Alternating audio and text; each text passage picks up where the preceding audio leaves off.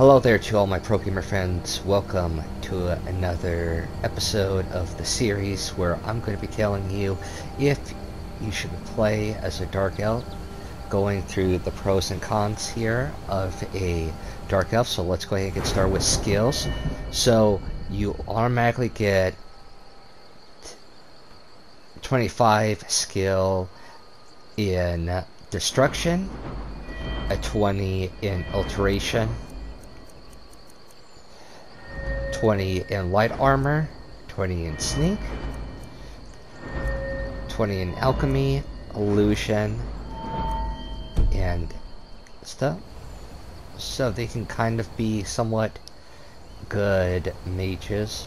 So let's go ahead and go for another thing too, which is dark elves or the only race is out of all of them that you get the spark the sparks spell without having to you know pick it up in Helgen from the cage.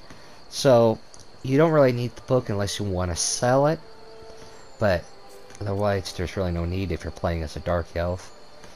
Now another pro here for dark elves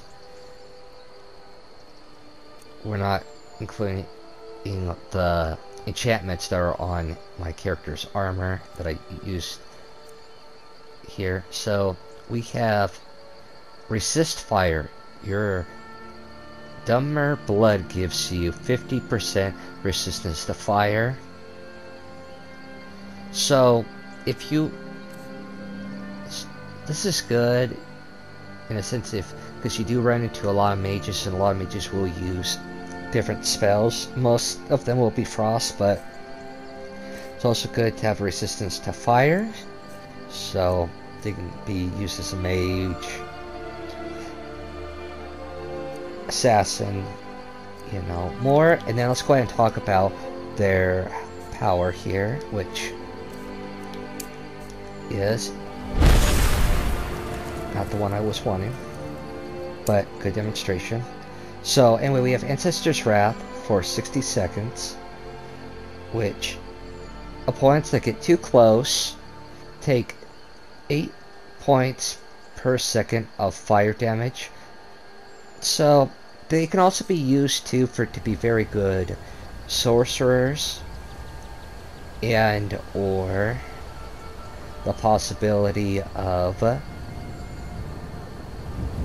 being a necromancer if you're kind of going for that look of a necromancer sorcerer type of for deal to, to add to your build. But yeah, do I think you should play it as a Dunmer? I'd say yes. Although, like I said before, I do think that Brins are the better mages, but you know, for this type of idea builds and more of yours, I think these will do wonders for you. So yes, you should play it as a Dark Elf. Anywho, I'm gonna probably make more of these here down the line. But anyway, of course, as always, I hope you enjoyed and See you all in the next one. Peace out, everybody.